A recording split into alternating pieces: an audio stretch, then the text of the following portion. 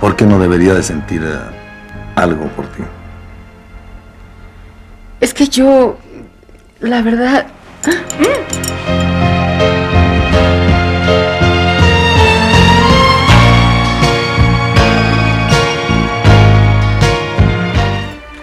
Maura nos estaba invitando a conocer un lugar nuevo que acaban de abrir. ¿Te gustaría ir? Sí, ¿por qué no? Bien, pónganse de acuerdo. Enseguida estoy con ustedes.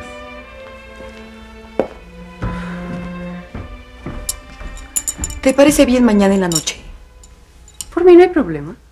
Mm, Es un sitio exclusivo y, y muy elegante. Bueno, me colgaré hasta el molcajete. No lo dudo. Bueno, ¿y qué dice Max? En realidad no lo he visto. Es un hombre muy atractivo, ¿no te parece? Sí, pero a ti te gusta Antonio, ¿no? ¿Y a ti? Bueno, imagínate, me casé con él. Sí, y la verdad es que para todos fue una sorpresa. Bueno, quiero decir, jamás imaginamos que se pudiera casar con una muchacha como tú. ¿Qué quieres decir? Mm, Que Antonio es un hombre de mundo, elegante, refinado. Evidentemente le gustan los contrastes. Si no, se hubiera casado con una mujer como tú, por ejemplo. Bueno, perdón, no fue mi intención molestarte. Me dijeron que anduvieron juntos, ¿no? Sí, pero en un plan muy informal. Nunca nos comprometimos seriamente. Qué bueno, porque no me gustaría que pensaras que te lo quité. Quitármelo tú. Ay, no, qué barbaridad. Lo nuestro fue sin trascendencia. Ninguno de los dos tuvo verdaderos deseos de formalizar algo. Bueno, por lo menos por mi parte. Ah, ¿Ya? ¿Para cuándo es la cita? Mañana en la noche. Bien. Bueno, pues tuve mucho gusto en saludarte.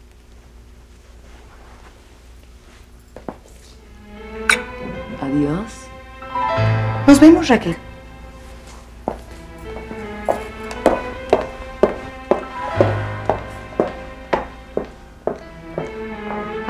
Acostumbran saludarse ustedes? ¿O es por la demasiada confianza que se tiene?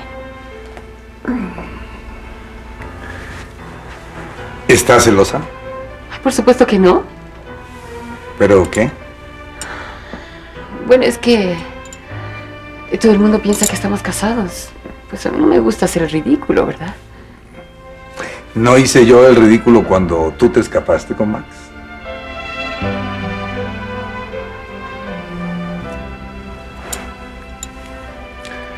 Quiero que me prometas que nunca volverás a intentarlo. ¿Me lo prometes? Sí.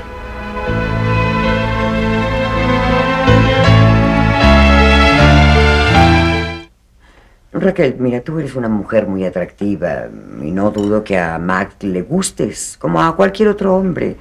Pero por favor, no juegues así con los sentimientos de los demás. Pero señora, yo no he jugado, yo... En realidad... Bueno, pues tal vez lo hiciste inconscientemente. Pero ya ves lo que has logrado. Mira, Raquel, Max es un buen muchacho con un carácter hosco, difícil si tú quieres, pero por favor, te lo ruego, Raquel, no provoques más problemas entre él y Antonio. Sí, señora. Le prometo que de mi parte no lo haré. Bueno, pues te lo agradezco. Con permiso.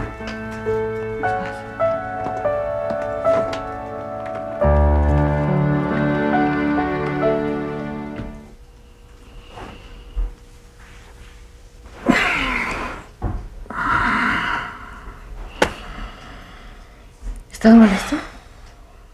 Cansado. Tal vez no debiste trabajar inmediatamente después del accidente. Estoy cansado de mantener parásitos que no sirven para nada. ¿Te refieres a mí? No, no, tú eres otra cosa. ¿Qué quieres decir con eso? Sabes bien lo que quiero decir. No, no lo sé. Raquel, tú eres distinta. Y me gustas mucho.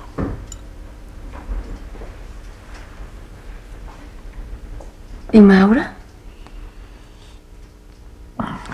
Maura ya pasó. Pero tuviste que romper con ella porque de repente te encontraste conmigo. Y para guardar las apariencias. Rompí con Maura porque yo quise. Y no quiero hablar de ella. Ahora me interesas tú. ¿Ahora? Sí, ahora. ¿Y después? Eso depende de ti. ¿Quién dice que no seas la mujer que siempre he buscado? Te estás burlando, ¿verdad? ¿Por qué piensas que siempre estoy jugando contigo? Que no puedo creer que seas sincero. No es lógico. Volviste a tu casa un día y te encontraste con una mujer que te dijo que era tu esposa, pero una esposa a la que tú no escogiste, que no querías, a la que nunca habías visto antes, y ahora de repente me dices todas estas cosas. No sé si nos hubiéramos conocido en otras circunstancias.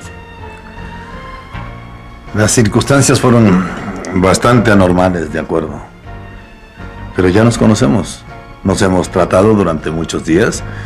Conozco tu carácter, me has eh, platicado de tus problemas.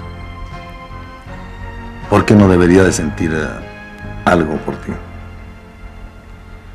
Es que yo, la verdad...